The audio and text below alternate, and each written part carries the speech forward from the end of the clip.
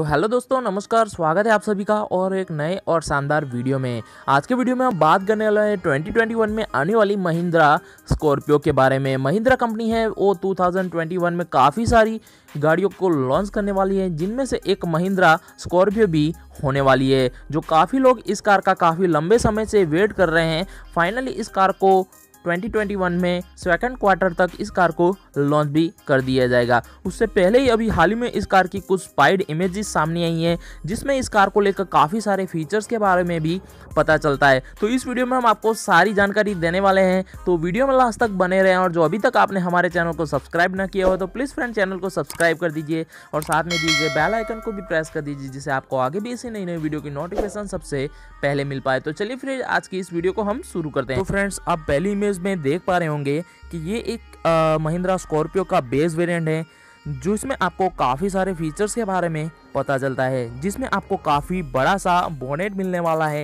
इसके अलावा जो इस कार की फ्रंट ग्रिल है, वो आपको टोटली चेंज मिलने वाली है, और जो हेडलैम्प्स दिए गए हैं, वो आपको नॉर्मल वाली ही मिलने वाला है। इसके अलावा जो इस कार का फ्रंट बम्पर है, वो भी आपको टोटली चेंज मिलने वाला है। जो इसमें व्हील है, वो आपको आर सेवेंटी इंच के स्टीम व्हील मिलने वाला है। इसके अलावा इस कार के रियर प्रोफ़ाइल की बात करते हैं तो फुल एलईडी में आपको इस कार के टेल लैम्प मिलने वाले हैं। इसके अलावा ऊपर आपको फॉग लैम्प के ऑप्शन भी देखने को मिल पा रहे होंगे। जो एंटीन है, वो आपको नॉर्मल वाला ही मिलने वाला है। इसमें आपको सार्क फ़ीस नहीं मिलने वाला है। इसके अलावा साइड प्रोफ़ाइल में आप देख पा रहे होंगे कि जो सी पिलर है, वो आपको काफ़ी लंबा देखने को मिल पा रहा होगा। वही अगर हम अंदर चलते हैं और बात करते हैं इस कार की इंटीरियर की तो इस इमेज में आप देख पा रहे होंगे कि इसमें आपको पुश टॉप बटन देखने को मिल पा रहा होगा। इसके अलावा जो इस कार के एसी के वेंट्स है, वो आपको नए वाले भी मिलने वाला है। और आपको इंफोटेनमेंट सिस्टम के नीचे आप देख पा रहे होंगे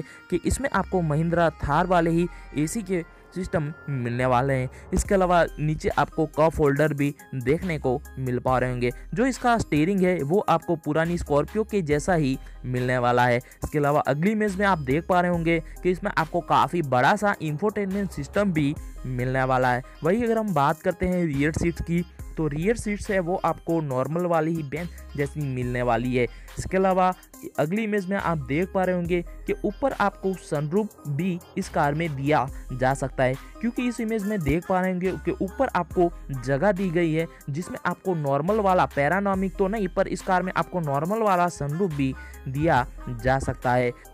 वही अगर हम थोड़ा आगे बढ़ते हैं और बात करते हैं इस कार में दिए जाने वाले इंजन ऑप्शन की तो अभी हाल ही में कुछ न्यूज़ निकल के आई है कि इसमें आपको महिंद्रा थार वाले ही 2.2 litre diesel and 2 point sorry 2 litre petrol engine मिलने वाला है, जिसमें आपको मैनुअल ट्रांसमिशन और ई ट्रांसमिशन दोनों के ऑप्शन दिए जाएँगे। इसके अलावा ये कार है, वो आपको फ्रंट व्हील ड्राइव और रियल व्हील ड्राइव दोनों के ऑप्शन में मिलने वाली है। वही अगर हम बात कर लेते हैं, फाइनली इस कार के प्राइस वह लॉन्च डेट की तो इस कार की प्राइस करीब 11 लाख से 16 लाख के बीच रहने वाली है। और बात करते हैं लॉन्च डेट की तो महिंद्रा है इस कार को 2000 सॉरी 2021 के सेकंड क्वार्टर तक लॉन्च कर सकती है। तो यही कुछ इन्फॉर्मेशन थी महिंद्रा स्कॉर्पियो को लेकर। तो आज की वीडियो में इतना ही फ्रेंड्स मिलते हैं अगली नई वीडियो के साथ। तब तक के लिए जय हिंद, वंदे मातरम।